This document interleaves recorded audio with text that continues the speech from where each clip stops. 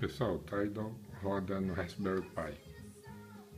Fica bem legal, porque você pode configurar ele para mostrar as letras das músicas. Ele também ele funciona integrado com o controle remoto da TV.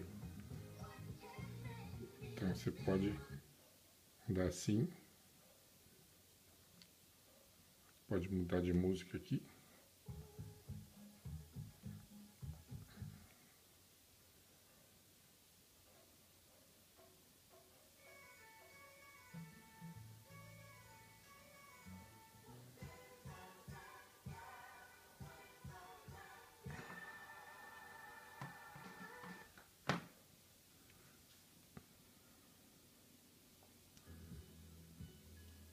Eu estou rodando um media player chamado OSMC no meu Raspberry Pi.